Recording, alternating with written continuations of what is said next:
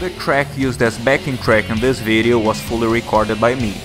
If you wanna check its final version, with proper mixing and mastering, follow the link in the description.